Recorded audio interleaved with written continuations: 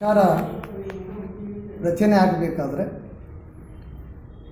ಸರ್ಕಾರ ಸ್ಥಿರವಾಗಿ ಉಳಿಬೇಕಂತ ಹೇಳಿದ್ರೆ ಕಾರಣೀಭೂತರು ಕುರುಬ ಸಮುದಾಯದ ಎಚ್ ವಿಶ್ವನಾಥ್ರವರು ಮಾಜಿ ಸಚಿವರಾದಂಥ ಎಂ ಟಿ ಬಿ ನಾಗರಾಜ್ರವರು ಆರ್ ಶಂಕರ ಅನೇಕ ಸಮುದಾಯವನ್ನು ಪ್ರತಿನಿಧಿಸುವಂಥ ಗಣ್ಯರು ರಾಜ್ಯ ಸರ್ಕಾರಕ್ಕೆ ಬೆಂಬಲ ಕೊಟ್ಟಿದ್ದಾರೆ. ರಾಜ್ಯ ಸರ್ಕಾರವನ್ನು ತರಲಿಕ್ಕೆ ಭಾಳಷ್ಟು ಶ್ರಮಿಸಿದ್ದಾರೆ.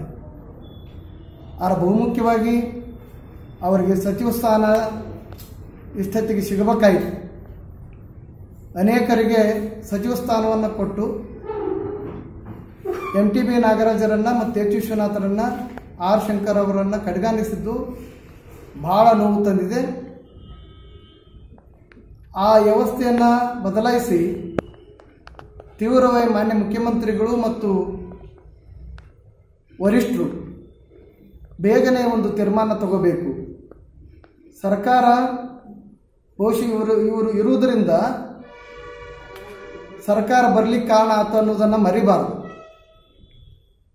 ಬಹುಶಃ ಇವರನ್ನು ಇನ್ನಷ್ಟು ಕಡೆಗಾಣಿಸಿದ್ರೆ ಸರ್ಕಾರದ ಒಂದು ಪ್ರತಿಷ್ಠೆಗೆ ಧಕ್ಕೆ ಆಗ್ಬೋದು. ಶೀಘ್ರವೇ ನಮ್ಮ ಸಮುದಾಯವನ್ನು ಪ್ರತಿನಿಧಿಸುವಂಥ ಈ ಮೂರು ಜನರಿಗೆ ಸಚಿವ ಸ್ಥಾನ ಸಿಗ, ಸಿಗಲೇಬೇಕು ನಮ್ಮ ಹಕ್ಕೊತ್ತಾಯ ಅದು. ಆ ನಿಟ್ಟಿನಲ್ಲಿ ರಾಜ್ಯ ಸರ್ಕಾರ ತುರ್ತು ಕ್ರಮ ವಹಿಸಬೇಕಾಗತ್ತ ಮತ್ತು ನಾಳೆ ಗೃಹ ಸಚಿವರು ಕೂಡ ಈ ವಾರ ಬರಲಿದ್ದಾರೆ. ಆ ಸ ಆ ಒಂದು ವಿಷಯನೇ ಇಲ್ಲ ಅಂತ ಕೆಲವರು ಹೇಳ್ತಾ ಹೇಳ್ತಾರೆ. ಕೆಲವು ಸಚಿವರುಗಳು ಹೇಳಿದರು ಕೆಲವು ಸಚಿವ ಮಂತ್ರಿಗಳು ಹೇಳಿದರು. ಅದನ್ನು ಬಿಟ್ಟು ಇದೇನು ಸಂಕ್ರಾಂತಿ ಎಡಬಲ ಆಗಬೇಕು ಅಂತೇಳಿ ಅವರ ಆಕಾಂಕ್ಷೆಗಳನ್ನು ಆಶೆಗಳನ್ನು ಈಗಾಗಲೇ ಹೊರಗೆ ಹಾಕಿದ್ದಾರೆ. ನಮ್ಮ ಎಚ್ ವಿಶ್ವನಾಥ್ರವರು ಇರ್ಬೋದು ಅಥವಾ ಎಂ ಟಿ ಬಿ ನಾಗರಾಜ್ ಇರ್ಬೋದು ಆರ್ ಶಂಕರ್ ಇರ್ಬೋದು. ಅದಕ್ಕೆ ಮುಖ್ಯಮಂತ್ರಿಗಳು ಶೀಘ್ರವೇ ಸಚಿವರುಗಳನ್ನಾಗಿ ಮಾಡ್ಬೇಕಂತ ನಮ್ಮ ಹಕ್ಕೊತ್ತಾಯ